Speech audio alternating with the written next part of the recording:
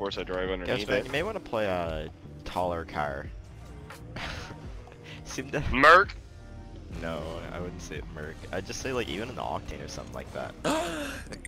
Oh. Wait, I don't even know what Ghoustman did there. That was some weird I don't know either. I just missed the ball. No, no, watch Ghoustman's car. Like, what was that? what was that? Wait, what?